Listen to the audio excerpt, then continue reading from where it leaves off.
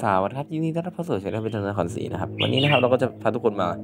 ดูเป็นหนอนของเจ้าด้วงกวางสามเขา atlas keyboh นะครับ atlas สามเขา keyboh นะครับเอ้ย atlas keyboh นะครับก็จะเป็นด้วงที่แบบพบได้ในภาคใต้นะครับ เป็น atlas ของภาคใต้นะครับ ส่วน atlas ภาคเหนือนะครับจะเป็น mantetsu นะครับนี่ครับหนอนของเขานี่คือ L1 นะครับใกล้จะ L2 แล้วอ่าผมเทออกมาเลยทีเนี้ยโอ้แล้วเจอ L2 แล้วครับตัวหนึ่ง ก็ที่ผมใส่เป็นไม้ไปนะครับ มันก็กินได้นะ มันเป็นเศษไม้อะเหลือจากด้วงครีมกินแล้ว ผมก็เลยเอามาให้สามเขากินซะเลย ก็ก็เลี้ยงได้อยู่นะครับ ก็ถือว่าใช้แทนมันได้เลยแหละครับ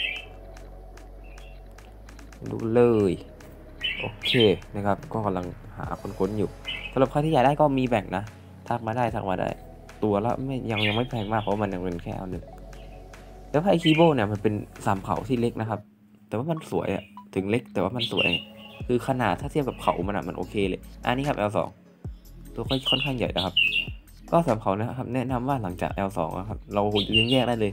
จริงๆ L1 ก็เลี้ยงแยกได้แล้วนะ เพราะว่ามันดุมากครับสำหรับวันนี้ขอตัวลาไปก่อนครับบ๊ายบาย